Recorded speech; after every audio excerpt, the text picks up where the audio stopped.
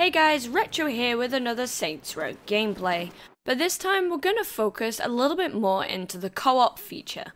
For this, I did bring along my other creator pal, Mr. Midas, so don't forget to check out his details in the description below. For starters, I wanted to find a simple mission. We did try to go back to the past story missions, but as I've completed them, we actually weren't able to do so. When selecting a mission, the objective arrows are visible for both parties, which makes things a little bit easier, especially when you need to figure out where you're going. Now the best bit about co-op is obviously the humour, where you can prank your other player. This can be one of many pranks and they're kind of random, but you can do them at any point in the game. There is a little cooldown, obviously so you don't spam it, but you know, it's a little bit of fun. But now you need my help. When it comes to co-op gameplay, one of my favourites is the vehicle missions.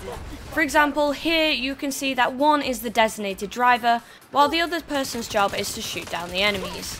Another feature of co-op is the ability to revive, which I guess you won't have in a solo mode.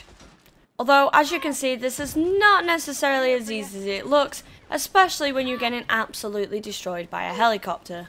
In terms of the battles, I'm yet to kind of find if it's easier or harder when you have an additional player, but I suppose there is a little bit of an ease to it, just because, you know, there's more than one character shooting at all the enemies, and you could potentially team up and have some flanks, especially when you get further perks and skills in the game.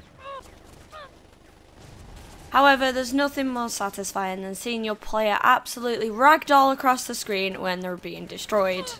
And quite frankly, you can sit back and watch it all happen.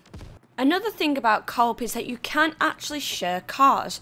For example, if your friend joins and they have more swanky or faster cars and you're a little bit jealous but you want to try them out anyway, you can ask them to retrieve their own from the garage. Overall, the co-op experience wasn't anything too exciting, and it just meant you get to have another friend to join you in the battles.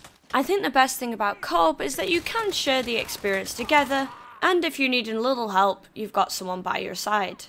If you do want to check it out, please experiment with the pranks because I can feel that there are going to be a lot of fun in this and I can't wait to try it out a little bit more. And that's it for this video and if you want to see some more, don't forget to check out the Saints Row playlist.